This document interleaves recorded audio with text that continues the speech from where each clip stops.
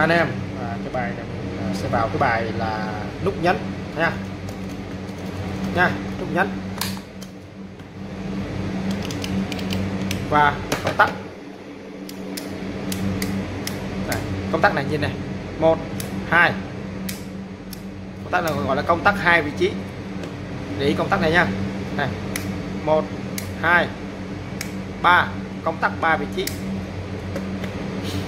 Rồi nút nhấn nha tôi thông thường ta quy định màu xanh này là để chạy này màu đỏ là dừng này. Cái lúc này là các ờ, anh em thấy giống như là cái nấm á. À, ta gọi là nút e stop. À, emergency stop. Nút dừng khẩn ha. Dừng khẩn. Còn đây là một cái hộp ta tích hợp sẵn cho mình ba cái nút nhấn dừng này. Đây đây là viết tắt của trường chạy nghịch này. Thuận này. Thuận nghịch dừng. Nha nó, nó có hai nút phẩm đây đây em đi dây điện à, thông qua hai cái lỗ này. Tùy mình ha. Không điện này à, cái bộ này là cho mình à, rất là tiền sự em à, muốn đấu cái thăng nâng á sử dụng cái hộp này. Hai hộp này là ok. Rồi. Thông thường á cái nút vừa cái nút mà nút dừng khẩn á người ta sẽ à, gắn cái máy điện là thường đóng. À, anh em để sau nhận diện được nha. À, sẽ mở cho anh em xem. Nó sẽ ghi ký như vậy này. Đầu tiên là màu sắc. Màu sắc đó là thường thường là màu đỏ. Màu đỏ nha màu đỏ và cái cái cái cái cái điểm nhấn xuống này. Nha màu đỏ luôn. Và nó ghi đây.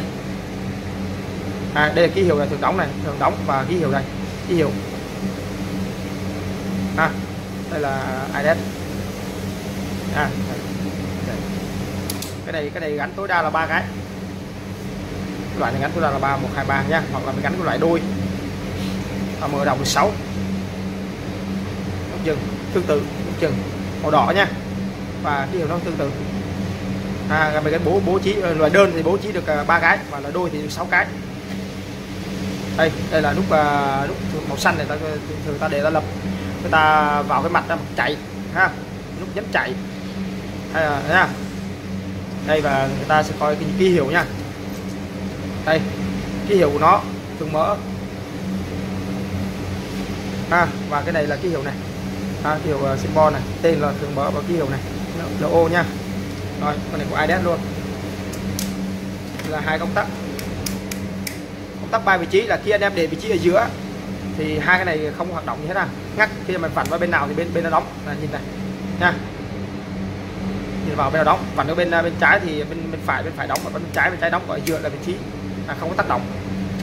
Rồi à, đối với công tắc mà hai vị trí thì anh em phản hướng nào thì à, ở bên đó tác động, nha.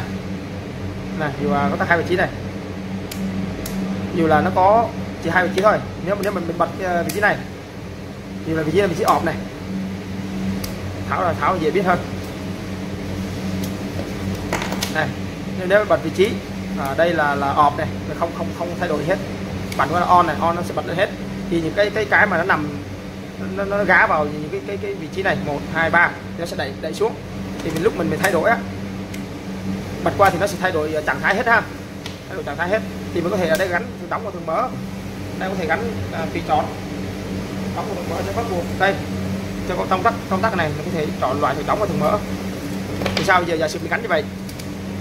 Để vị trí ọp này. Để vị trí ọp thì thường đóng và thường mở không thay đổi gì cả. Khi anh em bật có on thì cái thường đóng nó sẽ mở ra thường mở đóng lại. Ha. Đó đây là nói sơ sơ qua các loại à, công tắc và nút nhấn.